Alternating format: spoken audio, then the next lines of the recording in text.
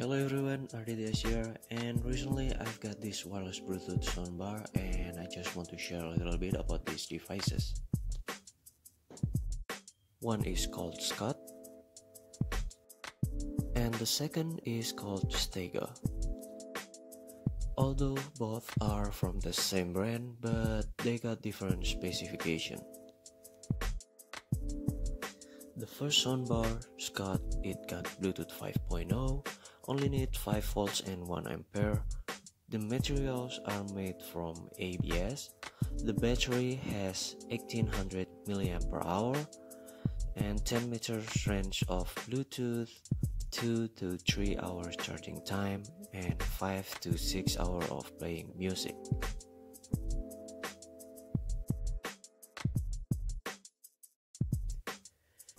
And the second Stega it got Bluetooth 5.0, it needs 5 volts and 1 ampere.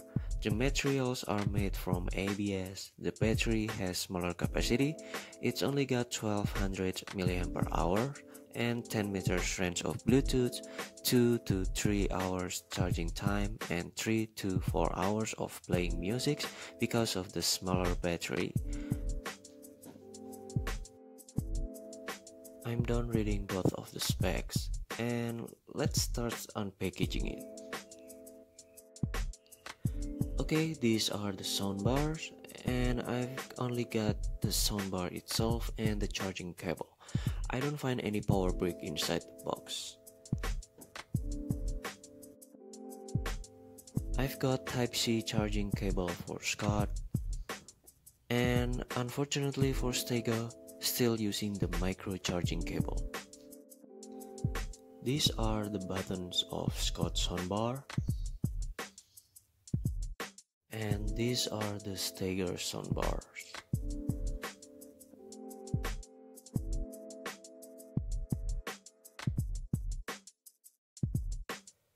The Scott soundbars backsides, there are power switch, Type-C charging port, TF card slot, and an aux slot.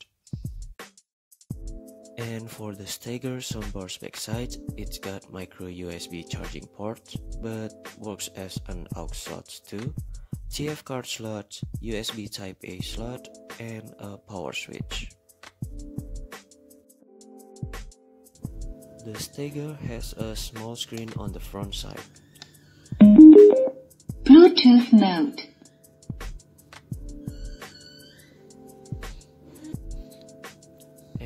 Scott's front sides, there are none. Bluetooth mode.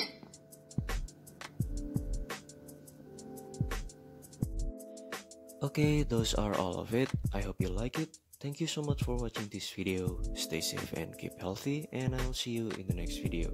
Goodbye.